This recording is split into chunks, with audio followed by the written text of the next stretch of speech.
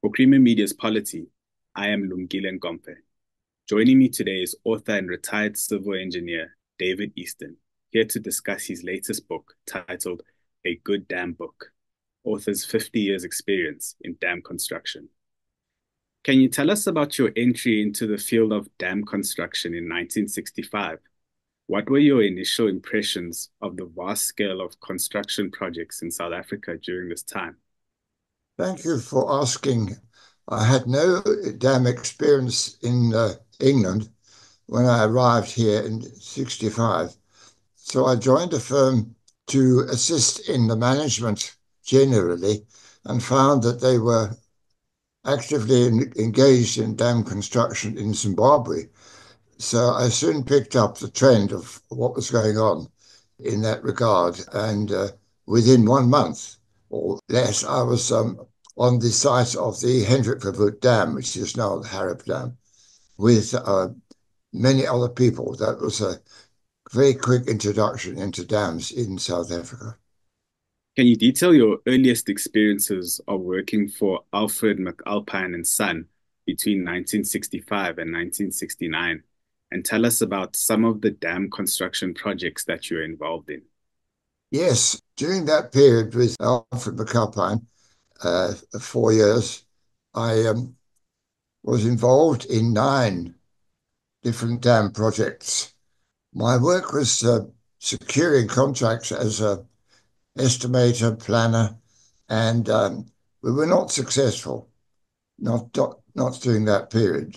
In fact, it was when I, I joined LTA uh, after McAlpine's that I was much more deeply involved in dams. Can you tell us about the extent of your relationship with the well-respected South African civil engineer, Dr. Henry Olivier?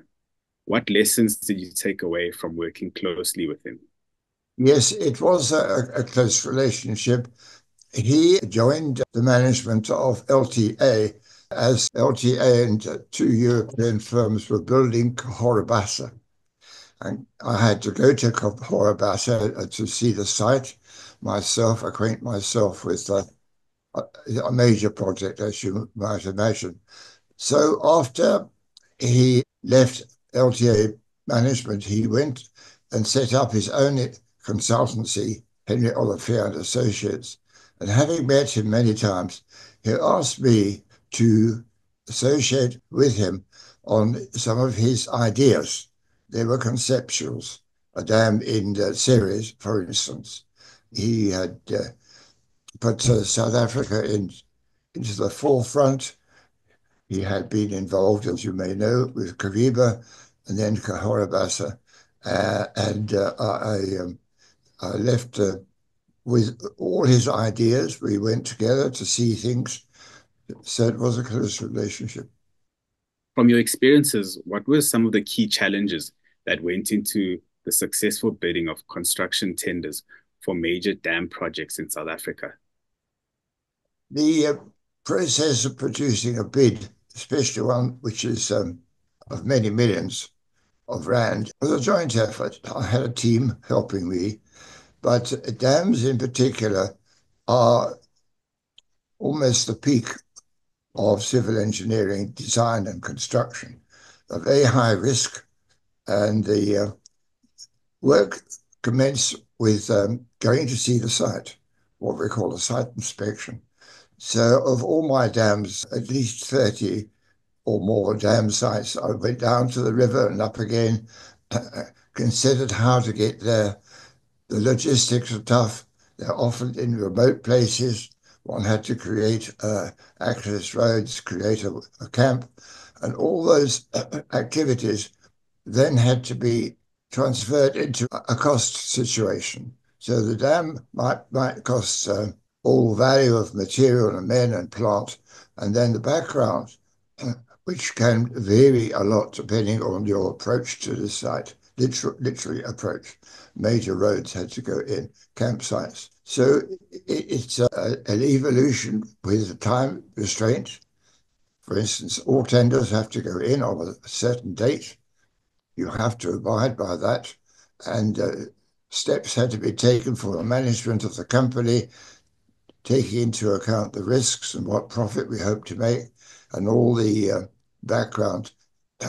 We, we are in a business to, to make a profit for our shareholders. So the risks are both with the client and with the shareholders. And uh, that was the responsibility I had to take on. Why was the Lesotho Highlands Water Project so important in your construction career? And can you talk about how that experience led to an increase in opportunities to make use of your cost estimating expertise? Well, certainly with uh, Henry Olivier having uh, looked at the scheme with one or two other uh, senior engineers, Ninham Shand, in this country, I was seconded by, by a firm to join an international panel at the beginning, shortly after signing of the treaty between uh, the Kingdom of Lesotho and uh, South Africa. And having uh, read the details of the contract presented in by the two countries, the first thing was to assess the, the cost, how much money had to be found from international banks.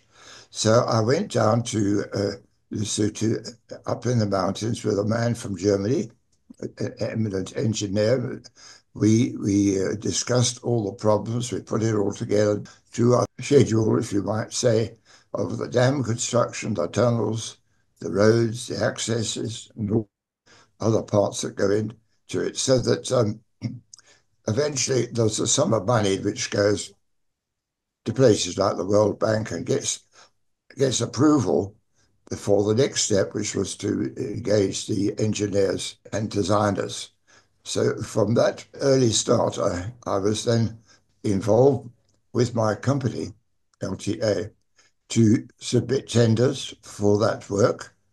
We secured a very large portion of the tunnels that take water through from the Katse Dams through to a, town in South Africa called Clarens.